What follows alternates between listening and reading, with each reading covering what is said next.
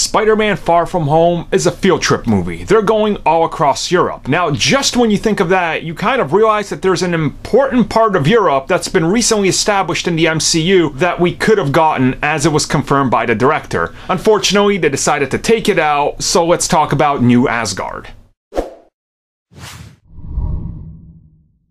New Asgard has been around on Earth now for a while. We know that it's established, we know that there's refugees of Asgard living there, we know that it's in Europe. So at one point, when they were looking at ideas of where the field trips could go, New Asgard was actually brought up as an idea and as a concept to go there. And honestly, it's unfortunate that they don't go here because this would have been a perfect introduction into the new aesthetic and look for what Asgard is on Earth. And it honestly would make a whole lot of sense because now the Earth, everybody on it knows that aliens exist. They even live among us in this little colony up here. So why not teach the history of the Vikings, what they actually did, and then their history up there in Asgard and what they're gonna do now. Introduce us to the new king and queen, or just a queen. We don't really know what the established, you know, timeline and frame of mind is right now in the MCU for them at least. I think this is honestly like a missed opportunity because it would have been really cool to get that introduction, but at the same time, I think I understand why they didn't want it. It's just kind of like we don't have a complete design.